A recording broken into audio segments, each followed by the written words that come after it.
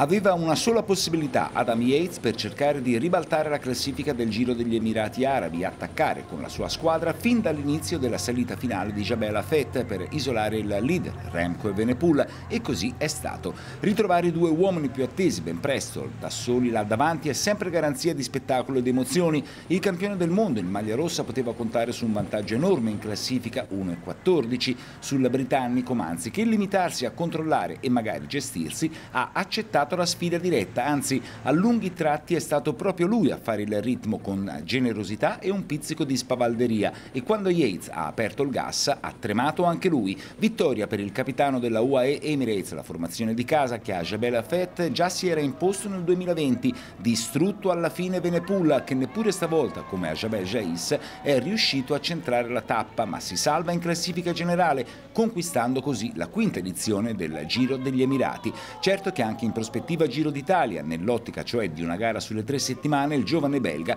dovrà modificare la propria condotta tattica. Alle spalle dell'australiano Plapp, secondo, sul podio sale anche Yates che ha pagato a caro prezzo i ventagli della prima frazione nel deserto.